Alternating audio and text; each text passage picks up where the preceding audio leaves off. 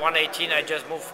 He, like when I move from one first weight division, everyone start talk about me, my power not enough for weight division. I prove everyone. He's big as a guy. Start, start everyone telling, telling about him. He's the biggest guy in his weight division, and I demolish him. And so five rounds, I was punching him. He taking taking my punches, but very soon he gonna be knocked out, and he survived by headbutts. And I'm happy. The whole, I guess I want to say, lead up to this fight, you were saying that you were going to knock him out. What is it that you saw that made you think you'd be able to get the knockout win? Uh, in fifth round when I start playing I know I can knock him out. Just I need a couple of more, one more round for knock him out. And maybe God looking at the when I knock him out. Better for him. We did like, uh, doctor stops the fight and be knocked out, you know. I would love to knock out. I want to, in my career, I would love 50 fights, 50 knockouts. Yes. I would love a knockout, you know. Were you surprised that your power and your speed were were that much more than, than his speed? Because he, he has a, you know, your guys' reach, you know, it's, it's pretty much the same, you know. I Um, think he's taller than me, bigger than me, yeah. richer. Yeah. It's that's sorry. I want to prove everyone. He's big as a guy, but I want to show how how strong I am.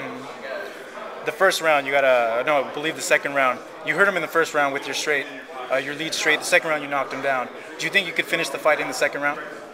I try to finish him second round, and I see it's maybe it's uh, in my feeling if maybe headbutt or something because when you want to finish someone, he's starting move his head. Want to looking for survive, and headbutts happening at that time, I just take it easy. I don't want to headbutt happen or uh, no contest rule, you know. I know I gonna because I already felt it. I'm gonna knock him out. It's still ten rounds to go. Where are you gonna run to? Were you surprised that, I guess, the way he was fighting, did you expect that he would come out a little bit stronger? I think he should want to show everyone because he was talking everyone he's, he's strong enough. You're gonna just, you know what he was telling? He telling you're gonna throw out of me ring because Nonito I was playing with uh, with Abner Mares. Abner Mares was playing backwoods. He telling if Abner Mares can push me, he can throw me out of ring. And I said, okay, you will see how strong I am. Well, Vic, you know, it was a, a great performance tonight. Going down in, in the future, I know potential matchups are, are there with uh, Mares. You know, it, it's a weird thing. You went ahead and you fought Perez, and you got a, a great result. Perez fought Mares, and it came out of a draw. You fight Mares. Many thought you won the fight, but they gave it to Mares. So, what would you do differently in a rematch with Mares?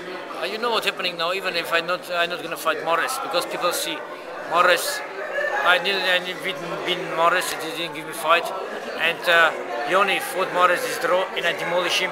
I think some of the people didn't even see on that fight. It's not gonna be a very excited fight. That's why I'm looking fight for some bigger champion, move up the division.